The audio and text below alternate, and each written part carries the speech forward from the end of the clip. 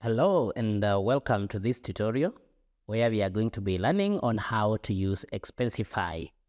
To use Expensify, you need to go to expensify.com and uh, you will find the link in the description of this video. So what is Expensify? Now, Expensify is a cloud-based expense software management that helps business track and manage expenses. It offers a variety of features, including receipt scanning. So you can use Expensify to do receipt scanning and automatically extract the relevant information from the receipt, such as the merchant name, date, amount, and category. You can also use Expensify to do expense reporting. And in this, you can uh, include scanned receipts, descriptions of expenses, and any other relevant information. You can also use Expensify to track expenses. And this you can do by category, such as the merchant, the date, and this information can be used to generate reports that show where and how your company is spending its money. And finally, you can also do expense reimbursement. Expensify users can request reimbursement of their expenses the software automatically sends the request to the appropriate approver, and once the request is approved, the funds are automatically deposited into the user's bank account. So that's so beautiful to know about Expensify. So let's dive into how to use Expensify. So you'll go to expensify.com and uh, you choose how you would like to connect, either through email, phone number, Google, or Apple. So in this case, I want to connect using an email. I click on email, then I click, then I put my email and I click on next. So it gives me this notification and this button now changes to join. So I click join and I'm automatically taken to the Expensify inbox. This is where you get first. So let's now go on each of these items and how to use them. If I click on inbox, it brings me to concierge. So, and in this case, like if I look down here, are you here to set up Expensify for your business or just for yourself? So I can choose what I want here. So if I look at expenses, now that I've not set the expenses, you notice what I can also do there. If I look at the reports, you notice I don't have any reports to show. Then if I look at the settings, I'll get to my account or to the policies. So the concierge here helps you to make a few of the settings of the account. So like in this case, are you here to set up Expensify for your business or just yourself? So if I click on the drop-down menu, you notice I can either choose business or individual. In this case, we choose the business concierge. So business. And then I can go to the next one. What will you use Expensify for? Choose as many as you would like.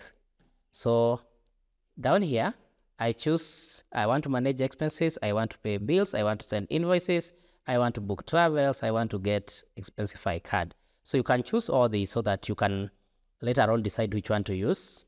But if you're sure of which ones you want to use, you can choose the selected few. So you click on submit.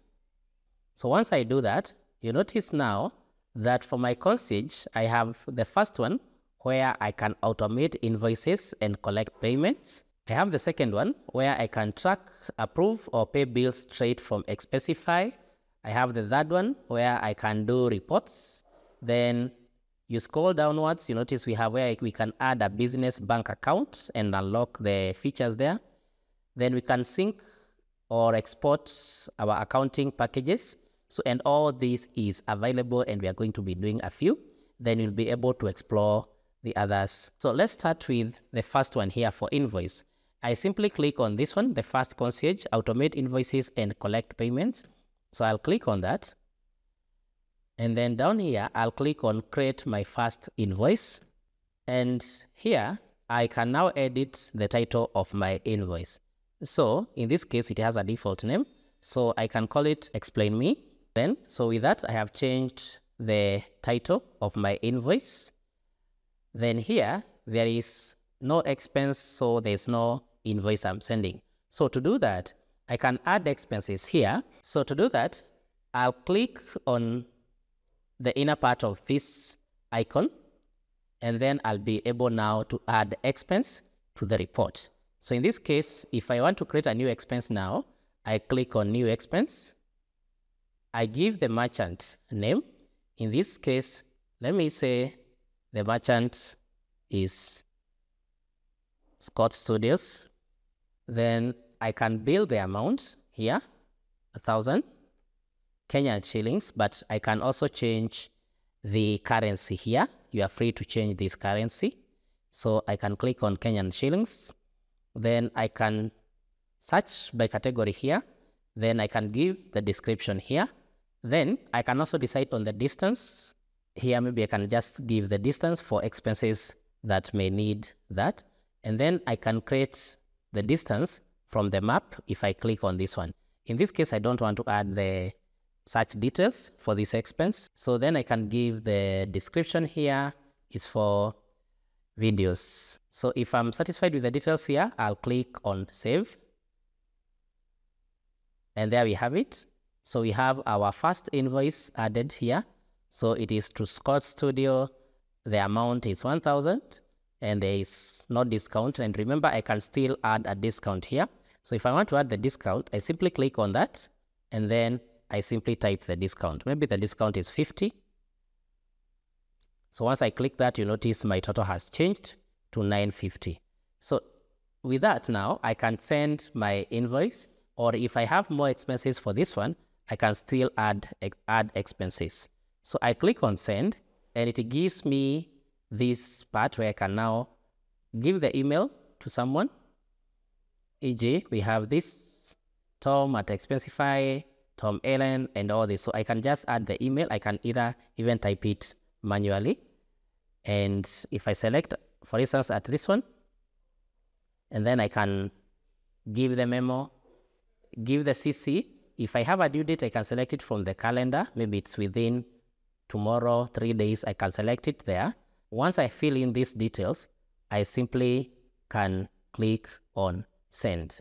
So in this case, I'm not going to be sending this one because it's not a valid one. It's just for demo.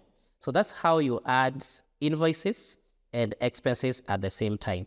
But as I said, I can add an expense directly on this end just by clicking on expenses so that now you see we already have our expense that we added through the invoice, but I can just click on new and then I can either create manually or I can scan receipt. Remember in the introduction, we said that you can use Expensify to scan receipts and get the figures and those and the data automatically. So I can do it manually or I can scan receipt or I can create multiple. So if for instance, I click on scan receipt, you notice I can upload anything that is scanned. So if I select on this one, for instance, if it was to be a receipt, I just click on open. This Expensify will be able to extract the data. I can also create multiple so that I can select an expense for 2nd June that was maybe at this amount. Then I can also edit this amount. Maybe this was $50. Let me put that as 50. This as 40. This as 200. So I can do that to select multiple expenses. But remember, I'll need to add the merchants here, maybe John, Tom, Tim, and Jane. Those are the merchants. Then I click on save. So I'll be able now to add multiple. You now notice we have our multiple expenses added.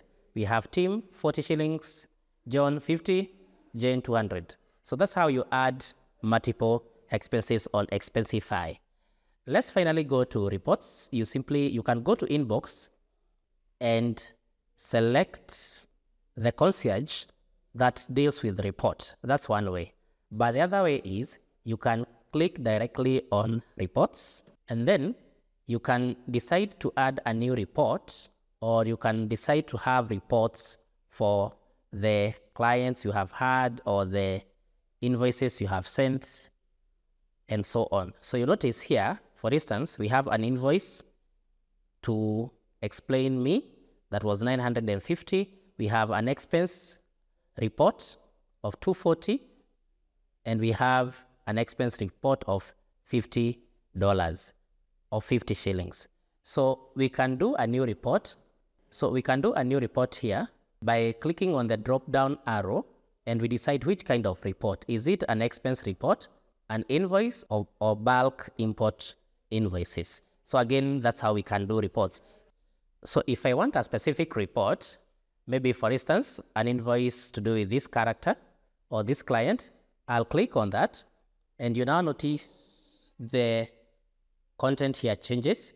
I can even export that. I can copy and I can also delete that. So export to, I can decide to export that to all data expenses level. I can export that to report level. I can export that to basic export. I can also tag the export or use the default CSV. So that's what you can do with the data on Expensify. If I select multiple, like I select all the data I have there, I can still do the same. I can export it, I can tag it, I can do per diem export and all this. So that's how you deal with the data. Finally, if we go to settings of the account, you can now change the settings here for your account, especially the subscription. Here we have the annual subscription and you can also decide to be paying per user. Then you can decide on the number of subscription size up to whichever number of active users you want. And then you can either activate or deactivate auto renewal. Then you can auto increase the subscription size and all that. So that's what you can do with the settings on your on your Expensify. Finally, you can also get the support from Expensify. You simply click on support and for support, you'll have two options. You'll either use Concierge, which is basically a 24-7 real-time support to answer most of your questions, or you can use the help site, where you are going to use a collection of robust self-help guides uh, that are for the best practices. So as you saw in the beginning, we used Concierge and we were able to get some guidance. So basically that is how you use Expensify. It's a nice app that will be helping you to do all we have demonstrated. Kindly like this video, share and subscribe to our YouTube channel.